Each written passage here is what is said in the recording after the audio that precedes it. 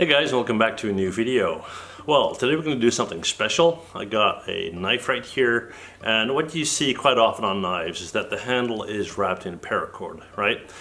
Now, that involves a twisting rope and wrapping it around an object. That's what we're going to do in Maya today, right? Here we go.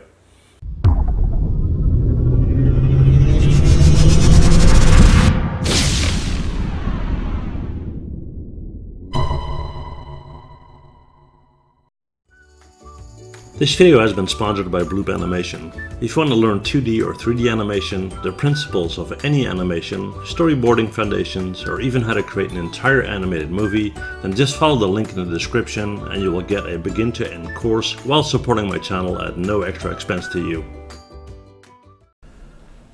Okay everybody, so let's have some fun. Well, before I get started, a lot of you guys commented that you couldn't see my mouse cursor. Well, guess what? Here it is finally got some feedback from the Filmora people what the problem was and it's uh, fixed. So yay right? Okay so on to today's tutorial. Um, we got a knife here that's wrapped with paracord. Now what I want to show you guys in this video is how to twist rope and then put it on an object let's say like a handle like that right? So that's kind of the idea. Now um, what we're going to do is we're going to go in here to, let's just play with our perspective view here, right? So what we're going to do is we're going to go in here and I'm going to start by creating a helix. I'm going to go up to uh, create, we're going to go to polygon primitives and uh, let's go and create a helix. All right. Now let's say that's going to be our initial rope setup, right? So what we're going to do is we're going to control A to open up the attribute editor. We're going to go in to polyhelix 1 and we're going to tweak that a little bit. We're going to change the height let's do something like this. We'll change the amount of coils quite a bit because it's supposed to be a rope at some point, right? And we're going to only use one edge of this helix, so not the whole thing, okay? So we have that. Let's see, uh, we can change the radius. Let's set that to 0.1 so we have a better idea of what's going on. And we can make it a bit more dense, right?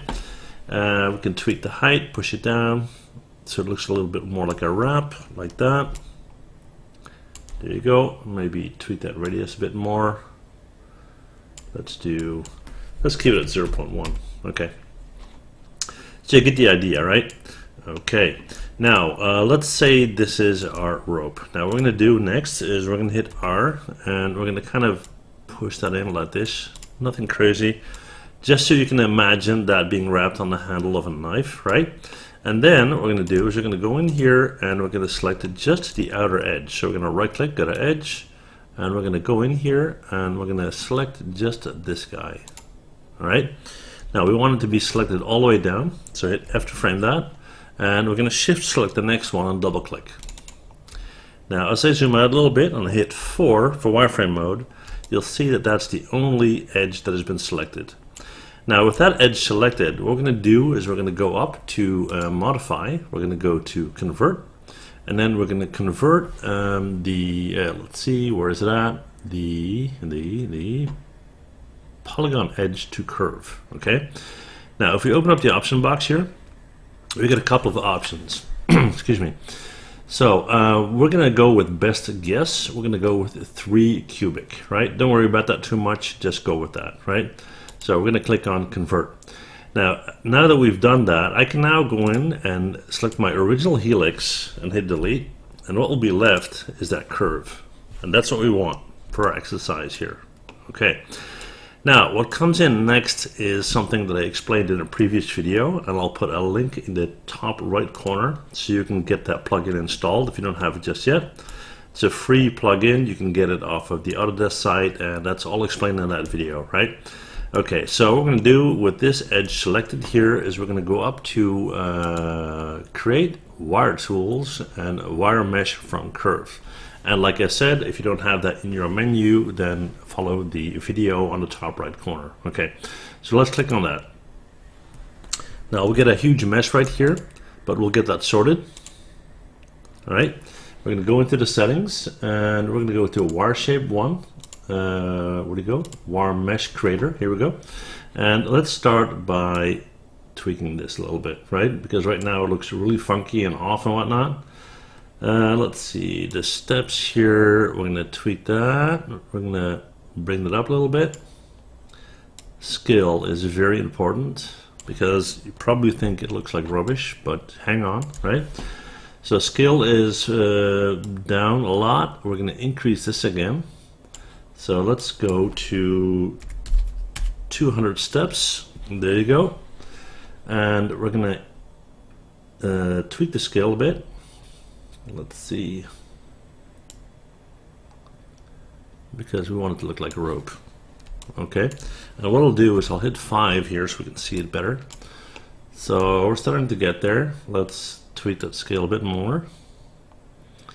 And what we're going to do is we're going to multiply this guy in a second, right? So first we're going to do is we're going to go in here and go up and we're going to increase the number of sides to make it look something more like a rope. Let's go with maybe 8. Okay, so 8's fine.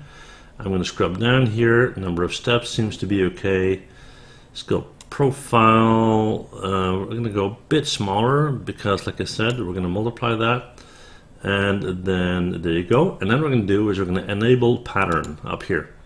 Now once I do that you now see that I got five of these and you can choose five or three or whatever you want.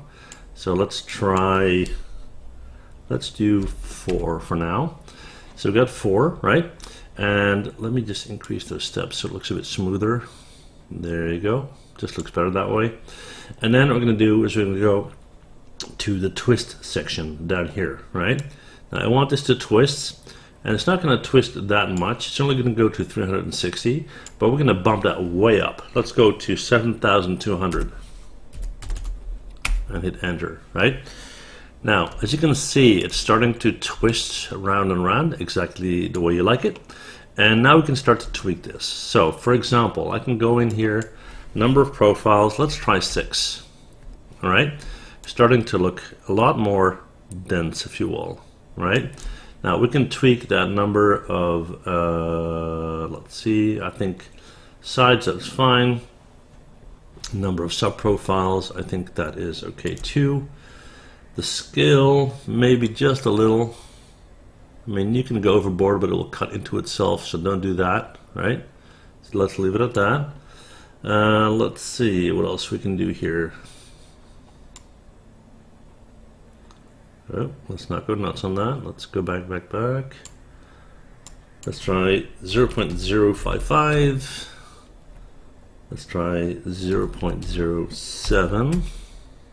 There you go. Not bad. So that would totally work as a wrap, right? So you could then go and uh, let's see, go into uh, Polygon Primitive and take a cylinder and then from the top go in here hit after frame for for wireframe mode and just push that guy in like this. So scale the whole thing down a bit. That's about it right? Let's close this up. Go in here you would stretch that out and basically you would get something like this right so it's not crazy difficult. It's playing with the settings, a lot more options there, but hopefully this will give you some uh, creative freedom to make something that is uh, completely personal and something that you like, right? Okay, so that's all there's to it, guys. Well, thanks for watching, and before you go, please hit that MH button to subscribe, okay? See you guys next time. Bye.